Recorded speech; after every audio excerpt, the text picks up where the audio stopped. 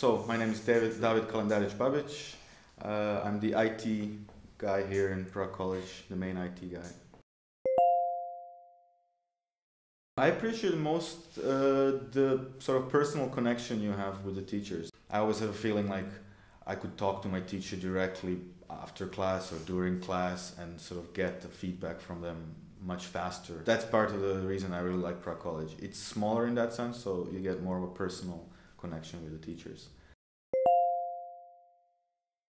Well, partly because of that, partly because of this personal connection. I think we have a pretty good design program uh, and business program. I know a lot of people who used to be students in Prague College and now are actually like starting their own businesses and working at like startup companies and it's kind of exciting for them, you know. So yeah, I think I think we have a pretty good uh, sort of little community here. Computing and interactive media started working together, so now there's like a whole new program sort of set up for uh, computing, but more like in a say gaming and entertainment part, like where you do like 3D for games and like mixing with interactive media students.